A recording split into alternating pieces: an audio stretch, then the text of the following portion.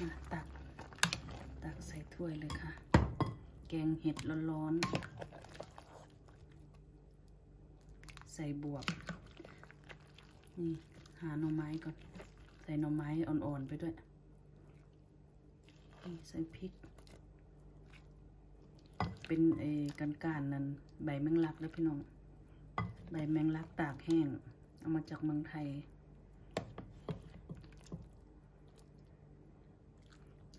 น้ำด้วย สดน้ำร้อนๆพี่น้อง แกงเห็ดใหม่ๆออกจากป่าเลยได้อพี่น้องเลย อันนี้กินกระยายอีทสองคน